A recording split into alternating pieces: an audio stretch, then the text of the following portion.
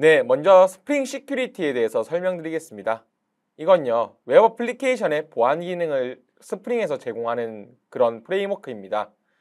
이게 이제 뭐 다양하게 customizing이 가능하거든요. 그러다 보니까 확장성도 높아서 많은 이제 기업에서 이 보안과 로그인 관련한 기능을 이 Spring Security로 구현을 하고 있습니다.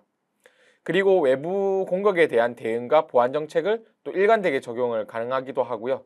이런 식으로 framework다 보니까 다양한 기능을 사용자에 좀 친화적으로 customizing해서 그리고 다양한 정책을 일관되게 사용할 수 있게끔 해준다. 이렇게 이해하시면 될 것 같습니다. 어, 그리고 Spring Security에는 주요한 기능이 있는데요. 먼저 인증, 사용자가 어떤 유저인지 이제 확인을 하는 인증 기능이 있고요. 그리고 이러한 인증 기능을 제공하기 위해서 다양한 인증 방식이 제공이 됩니다. 이제 기본적으로 그 아이디나 비밀번호를 활용해서 폼 기반의 인증 서비스를 기본적으로 제공을 하고 있고요. 저희는 이제 오늘은 그런 폼 기반의 인증이 아니라 API 기반으로 인증을 하는 서비스를 구현해 볼 예정입니다. 그리고 다양한 인증 프로바이더를 제공하여서 인증을 처리를 도와줍니다. 그리고 이제 인가 서비스가 있습니다. 인증 서비스랑 인가 서비스가 또 공부를 하기 전에는 좀 헷갈릴 수 있는 개념인데요.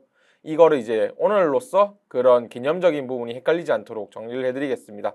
인증이 사용자의 신원을 확인하는 그런 거였다면 인가는 이제 인증이 된 사용자에게 어떠한 권한을 부여해서 서비스를 사용할 수 있게끔 서비스를 사용할 수 있게끔 권한을 권한을 주는 겁니다.